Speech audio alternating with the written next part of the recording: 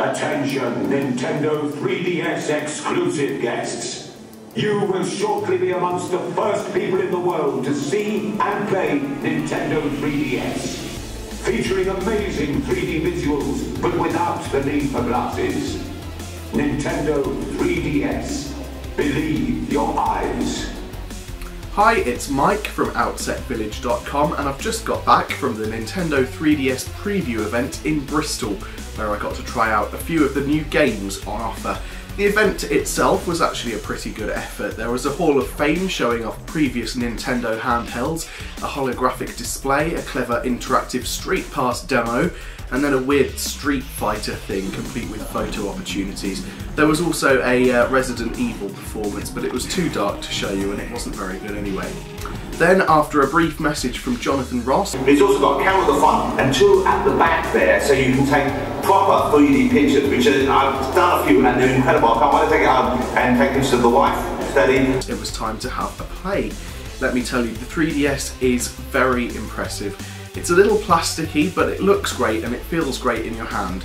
The screens are bright and really crisp, and the 3D effect is even better than I was expecting it to be. It's kind of like looking through a window. I didn't see anything pop out of the screen as such, but there's a lot of depth behind the screen. Uh, it's not going to blow your mind, but it should make games a lot more immersive from here on out. There is definitely a sweet spot, and if you turn the 3DS to the left or the right, you do lose the 3D effect. But to be honest, I was holding the 3DS how I hold my DSi now, and I wasn't really running into any problems. So the first thing I tried out was Asphalt 3D, which is very impressive. The load times were annoying, but they're probably justified. Everything from the menus to the tracks themselves look fantastic, and if you're going to pick up a racing game at launch, this is the one I would say to go for. Its rival, Ridge Racer, isn't as bad as everyone keeps saying, but it doesn't really feel like a retail title to be fair. Uh, you'd probably be best off picking up Asphalt 3D in my view. First party game Ocarina of Time, the uh, new Zelda title, was really impressive and it lends itself well to the 3D effect, although you can tell that it is an N64 port. The quality of the graphics was a bit mixed and some of the textures looked a little bit muddy, uh, but I did enjoy the demo and it's still a game I'm looking forward to buying, so I don't think you'll have any problems. I was also impressed by Pilotwings Resort. Uh, it has a really deep draw distance and the controls are really easy to pick up. Speaking of controls, if you've been worried about Kid Icarus Uprising's combination of circle pad and touchscreen controls, I really wouldn't worry about it.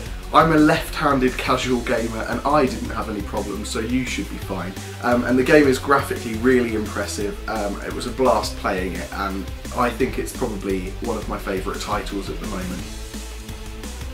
The most disappointing game on the show floor was Super Monkey Ball 3D, which I had been looking forward to. Um, unfortunately, the graphics are average at best, and it just doesn't feel like a retail game. It barely qualifies for a place uh, on the Nintendo eShop. Um, the 3D effect worked fine when I was using the circle pad, but there is a big, big problem when you use motion controls. First of all, they're just not very responsive, and second of all, um, unless you move rigidly with your 3DS while you're playing, uh, you'll lose the 3D effect and you just end up looking at a blurry mess. So I had to turn it off while I was playing the demo, which is very disappointing for a new 3D uh, console. Speaking of disappointments, Steel Diver failed to impress me as well.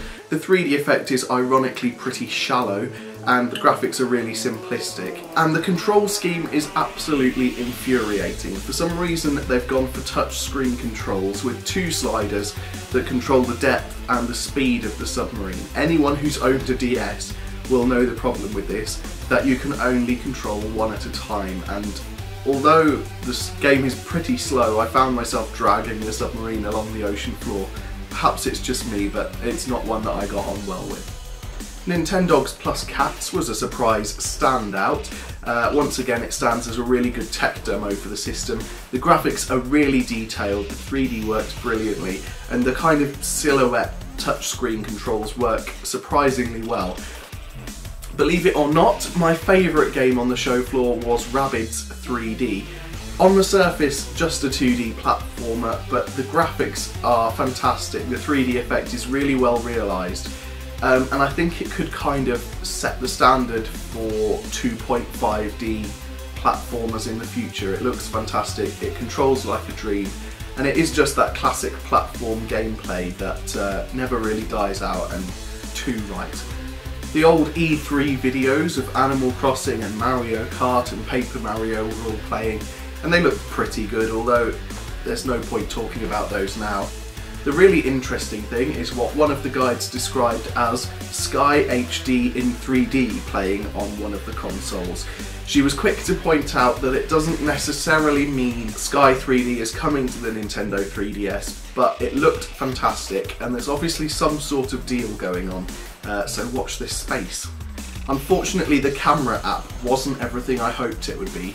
The 3D effect works fairly well, although it isn't always perfect, but the main problem is the low resolution of the cameras kind of makes the pictures look really blurry and furry um, and it's not something that photographers will want to spend any real amount of time with. It's a novelty at best.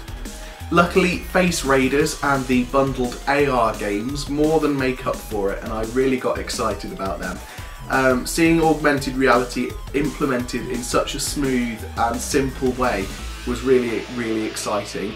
The AR games run really smoothly and I managed to walk all the way around the table without the 3DS losing track of my playing card. And Face Raiders was good fun too. It took very little time to take a picture of me, which it then turned into a 3D model of my face.